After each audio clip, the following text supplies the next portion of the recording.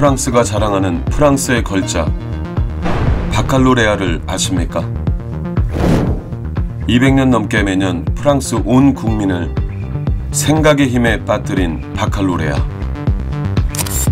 1808년 생각하는 힘을 가진 건강한 시민 양성을 위해 프랑스가 만든 대학 입학 자격 시험.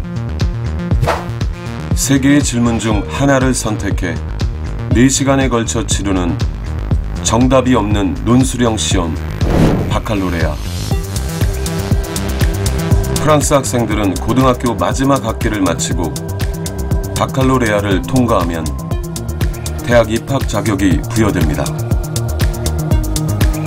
바칼로레아에 통과하면 프랑스에 있는 어느 대학이든 자신이 원하는 대학, 원하는 학과에 진학할 수 있습니다. 우리나라처럼 학생들을 1등부터 꿀등까지 줄을 세우고 다시 대학들을 1등에서 350등까지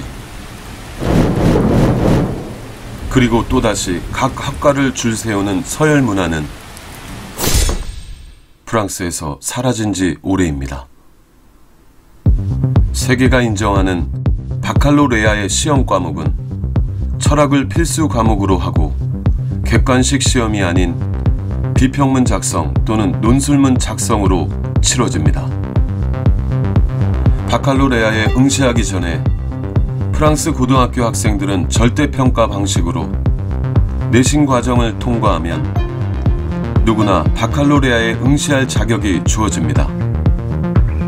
물론 프랑스의 대학들이 오늘날처럼 원래부터 서열과 학벌이 없었던 것은 아닙니다.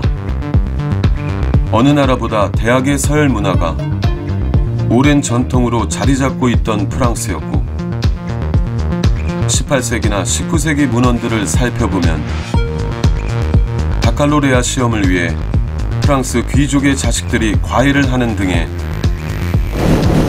오늘의 대한민국의 입시 현실과 다르지 않았습니다.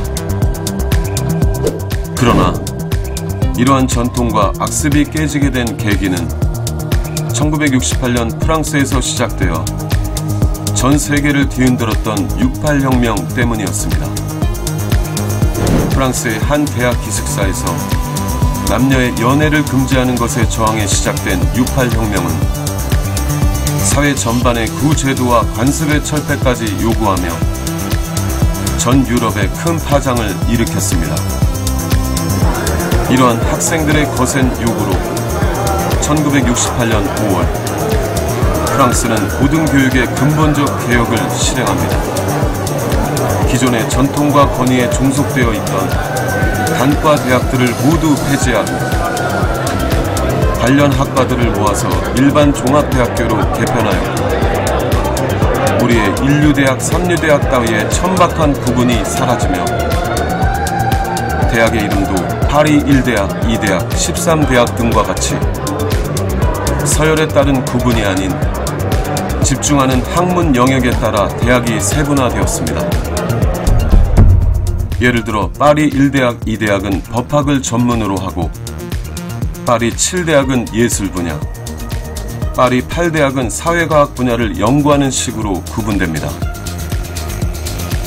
더욱 놀라운 사실은 대부분의 대학들이 국립대학으로 운영되어 등록금이 연간 30만 원에 불과하다는 사실입니다. 이러한 프랑스의 서열과 학벌이 파괴된 대학 평준화로 프랑스 고등교육의 질이 떨어졌을까? 서열과 학벌의 사슬에 종속된 우리의 대학 교육이 단 한 명의 학문 분야 노벨상 수상자도 배출하지 못했지만 프랑스는 노벨 평화상 11명을 제외한 학문 분야 노벨상 수상자가 무려 52명에 달하며 프랑스 대학은 전 세계 학생들이 유학을 꿈꾸는 선망의 대상입니다. 서열과 학벌에 종속된 우리의 입시 제도에서 매년 수십여 명의 학생들이 성적을 비관해 목숨을 끊고